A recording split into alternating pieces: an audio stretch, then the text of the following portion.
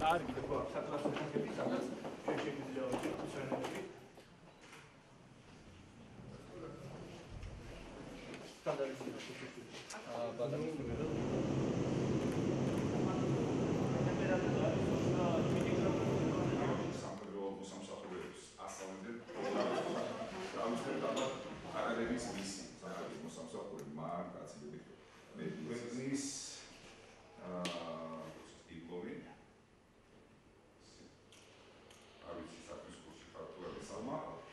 უცებ ვერ ვიცი.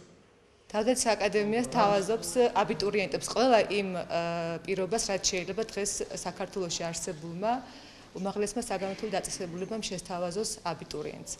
აა მატერიალურ-ტექნიკური ბაზა, თანამედროვე, მაღალკვალიფიციური აკადემიური პერსონალი, პროგრამები, რომელიც დანერგილი არის ნოვაციები, ყველა ის აბიტურიენტი, ვისაც სურვილი აქვს აირჩიოს, ან უკვე აირჩიეს ეროვნული გამოცდების პორტალზე ჩვენი პროგრამები. 29 აპრილიდან უნდა გამოცხადდნენ აკადემიაში, რათა გაირონ რეგისტრაცია, რადგან მათ ეროვნულ გამოცდებამდე გასავლელი აქვს 3 ტური, ეს არის სამედიცინო შემოწმება, ფიზმომზადების ტესტი და გასაუბრება. დღევანდელი შეხვედრის ერთ-ერთი მიზანი იყო, რომ საზოგადოებისთვის გაგვეცნო თუ რა პირობებში უწესწავლა არსებულ და მომავალ ეროვნული თავდაცვის აკადემიის სტუდენტებს.